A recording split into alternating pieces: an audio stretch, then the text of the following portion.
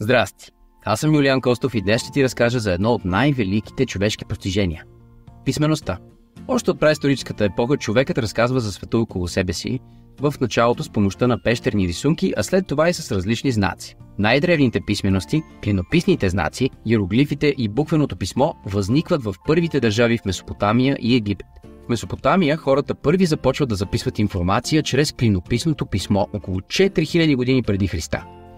То прилича на заострени чертички от триъгълничета или клинчета, които са подредени в определена последователност. Тези клинообразни знаци се изписват върху глинени плочки с помощта на заострени тръстикови пръчици, които се притискат по меката глина, като оставят следи.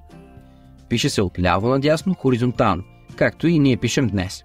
След това глината се изпича, става твърда и написаното се съхранява. Богатството на тази писменост е открито през 19 век на територията на древна Ниневия, някогашната столица на Асирийското царство, днешен Иран. Тук са намерени глинени плочки с клинопис от прочутата библиотека на владетеля Ашурбанипал. Повече от 5000 произведения са разчетени.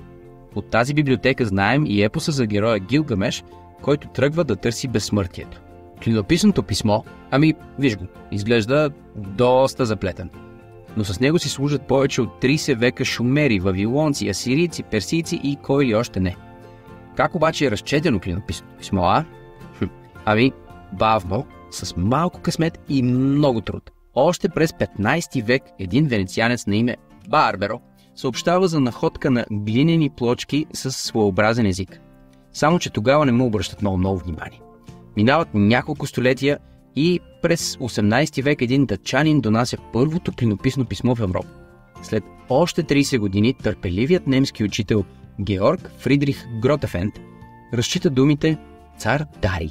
И след още 20 години през 19 век англичанинът Роленсън дава ключа за разчитането на клинописното писмо.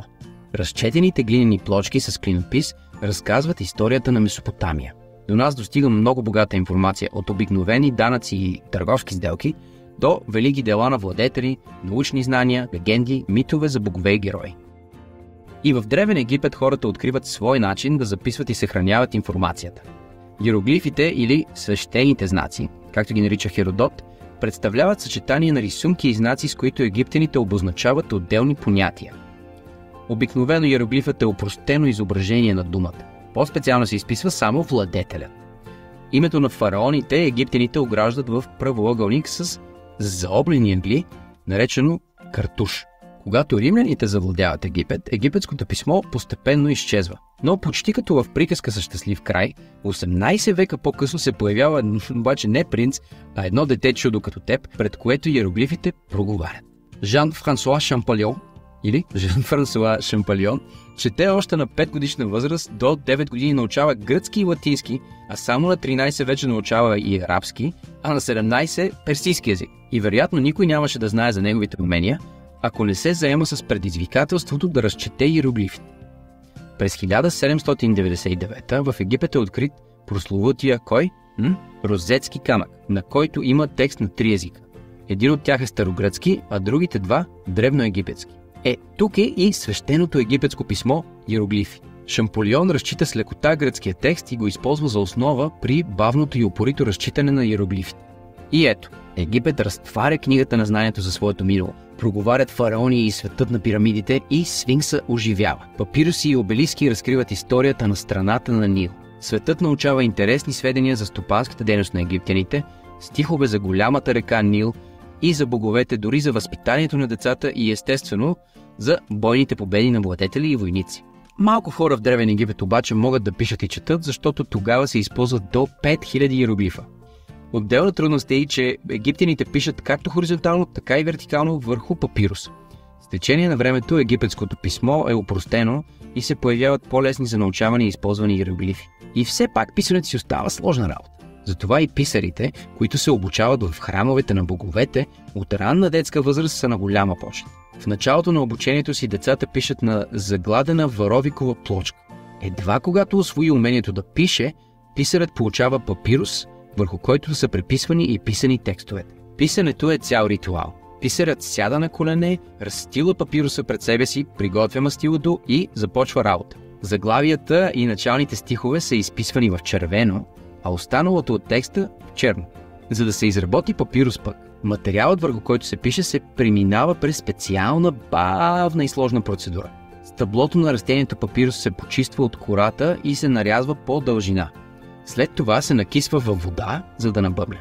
Готовите лентички се подреждат на два пласта, след което се пресоват силно и след като листът изсъхне, вече може да се пише на него. Остана ти разкажа и за буквеното писмо на финикийците, което се появява последно, около 1200 година преди Христа. Като мореплаватели и търговци, финикийците кръстосват цялото Средиземноморие. От източното крайбрежие, където основават своите градове, към най-западните брегове, през Гибралтар и чак до британските острови. И понеже са постоянно в движение, пресмятат, продават, купуват, им е нужен бърз и лесен начин за писане. Започват да записват звуците с знак – буква. Оттам и писмото им се нарича буквено. За да са супер бързи обаче, записват единствено съгласните звуци, затова и ползват само 22 букви. Е, айде сега, опитай се да си напишеш името по финикийски, само съгласните букви. Аз сега го прочети. Аха, сложна работа. Вероятно затова по-късно мъдрите гърци, които имат за основа финикийската азбука, добавят и гласните букви и създават гръцката азбука. Кирил и Методий пък използват гръцката азбука и създават глаголицата, която е основа на славянската азбука, на която четем и пишем с теб днес. Не знам за теб, но на мен ми беше много, много, много интересна тази разходка през историята на различните писмености, която си направихме днес. Затова нека да обобщим накратко. Най-древните писмености са клинописът, иероглифите и финикийското буквено писмо. Клинописите възникват в Месопотамия, иероглифите в Египет, а буквеното писмо създават финикийците. Клинописът и иероглифите използват символи и образи, с които записват текста, а финикийското писмо използва знаци, букви, с които записва съгласните звуци. Ето, готови сме. А сега, с помощта на писмеността, скачай бързо към текста, за да затвърдиш всичко научено.